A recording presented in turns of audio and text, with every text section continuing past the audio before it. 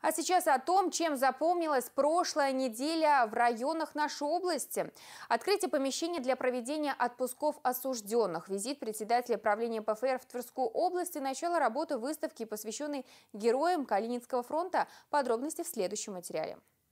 В минувшие выходные в Затоозерной широко отметили завершение зимы. Последний день Масленицы традиционно гуляли всем городом. На площади Победы для местных жителей и гостей подготовили обширную программу. Праздник открыли богатыри озерного состязания по перетягиванию каната. Это вид масленичных состязаний один из самых популярных и зрелищных.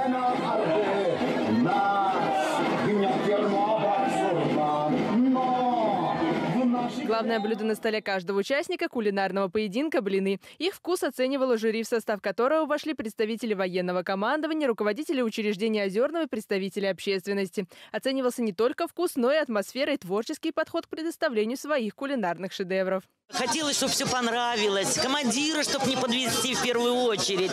Это вообще. И вы чудесно все подготовились, девчонки. А в Вышнем Волочке в женской исправительной колонии номер 5 открыли помещение для проведения осужденными отпусков. Событие прошло в торжественной обстановке. Работающие осужденные, как и все прочие официально трудоустроенные люди, имеют право на отпуск. Это закреплено в статье 104 Уголовно-исполнительного кодекса Российской Федерации. Отпуск ежегодный и оплачиваемый. Его осужденные могут проводить как на территории исправительного учреждения, так и за его пределами. В новой комнате для выпускников созданы все необходимые условия для полноценного отдыха. Наше учреждение с вами всегда славилось своей замечательной трудовой э, традицией.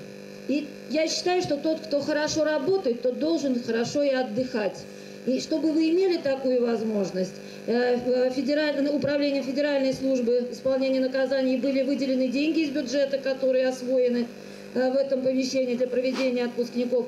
Торжок с рабочим визитом посетил Максим Топилин, председатель правления Пенсионного фонда Российской Федерации. Во время визита он ознакомился с работой отделения ПФР, обсудил вопросы предоставления государственных услуг в электронном виде, взаимодействие с многофункциональными центрами по оказанию госуслуг Пенсионного фонда и качество обслуживания населения. Максим Анатольевич оценил готовность Торжокского управления к выдаче государственных сертификатов на материнский семейный капитал и сроков распоряжения частью средств материнского семейного капитала, а также готовность Торжокского управления к работе в проактивном режиме с 15 апреля текущего года. Напомним, что в феврале этого года между МФЦ Тверской области и региональным отделением ПФР было подписано соглашение о сотрудничестве, в рамках которого часть услуг фонда можно получить в многофункциональных центрах. В Оленинском краеведческом музее открылась передвижная выставка, посвященная героям Калининского фронта. Она приурочена к 77-й годовщине со дня освобождения района от немецко-фашистских захватчиков. Материалы основного раздела выставки рассказывают о героях Советского Союза, удостоенных этого звания за бои на Калининском фронте.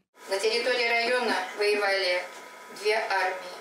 22-я и 39-я.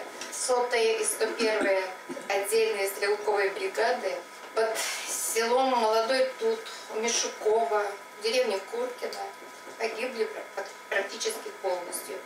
Выставка также рассказывает о воинских формированиях, которыми в годы войны были присвоены почетные наименования. 128-й Калининский бомбардировочный авиационный полк, 7-я гвардейская Ржевская истребительная дивизия, авиаэскадрилья имени Чайкиной и другие. Такими событиями запомнилась эта неделя для районов Верхневолжья.